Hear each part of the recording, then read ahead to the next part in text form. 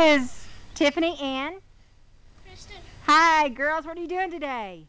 Snowball. Snowball fighting. Oh no. Ow! You got my ear. That snow is cold. Ow!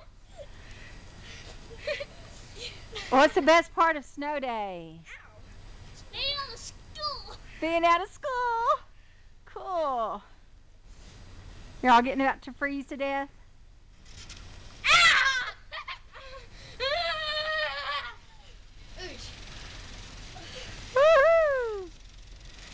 Snowball.